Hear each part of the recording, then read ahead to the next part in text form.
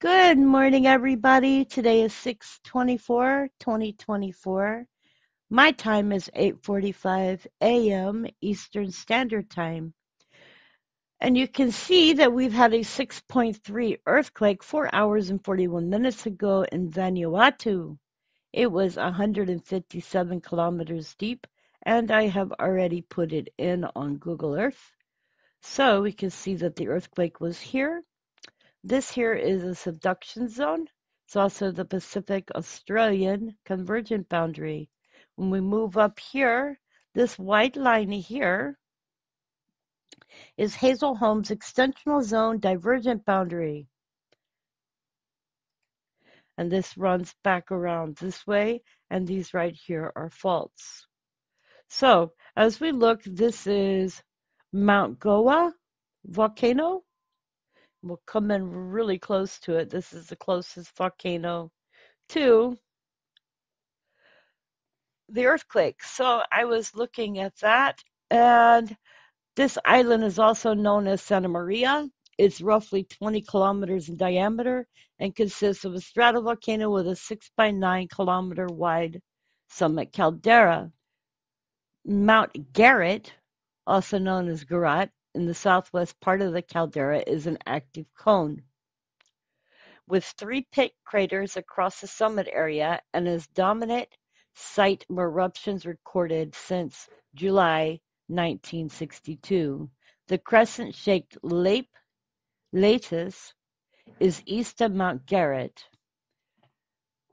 The most recent eruption period occurred during 17 September to 10 October of 2011. So let's back out real quick here. We can see this is Lake Letas here, and this is the volcano here. Occasional gas and steam emissions originate from Mount Garrett have been reported by VMGD and were visible in satellite imagery and by local observers. So that is very interesting information about this volcano. But in relation to where it is with the earthquake, I would assume that this is activity caused by subduction and maybe volcanism, but remains to be seen. So, anyways, what I've been looking at today is earthquakes that are ongoing in California as well, because we've had quite a few earthquakes today. And they are coming from, and I'm going to say, I think, down here in the Gulf of California, we can see that we've had quite a few earthquakes in Los Angeles area. So if you don't mind, we'll take a look at this. I'm going back to EMSC here real quick so we can see that the last earthquake in California 25 minutes ago was a 3.6 and the other earthquake right before that was a 3.2 in greater Los Angeles. Then there was a 2.1 here.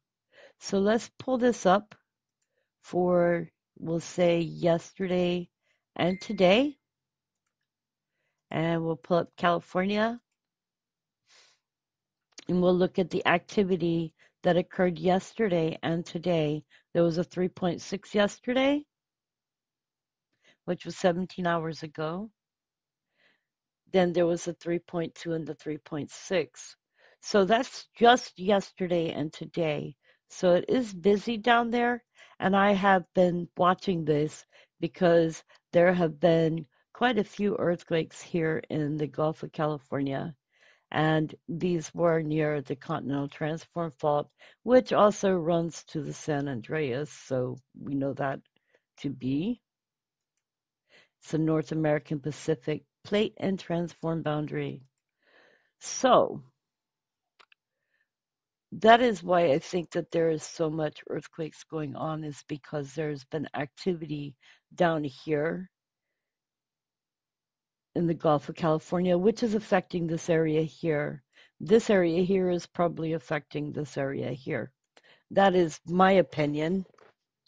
I'm sure there are other people which will say it was because of something else, but there was also a 5.2, I believe it was, down here in Herrera, Mexico.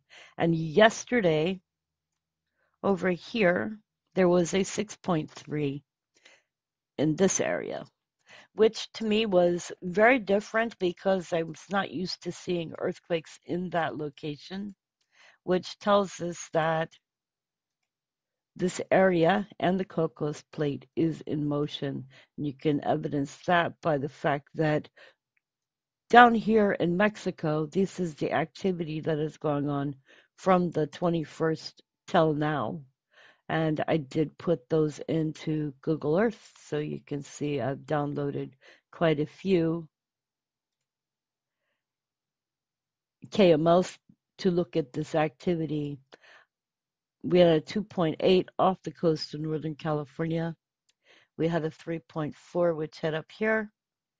And this is right off of the Maacama fault zone. And the this is two days activity for California. So I had inputted the 3.4, which occurred yesterday, as well as the 2.0 today. Then we can look down here and see that this is the Caliami fault with a 3.6 earthquake near it, but not on it. As we move down further, we can see that we've had a 2.0 in between the Great Valley Fault and North American Pacific Plate here, which is also the San Andreas. But it is not on them, so that is not something to be worried about. Then there's a 2.2, which was near the Oceanic West Huasna Fault. As we move down here further, we can see that these faults here are being disrupted, but they are not being hit. This is the Elysian fault, and this is the Raymond fault.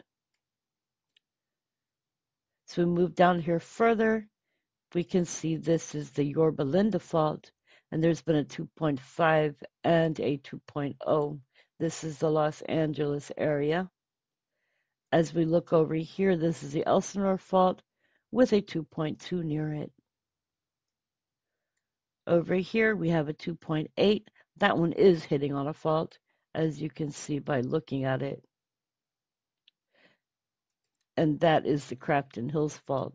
That one has a possibility of a 6.4 earthquake. And that is a 2.8, which has hit this fault. This earthquake was 15 kilometers in depth.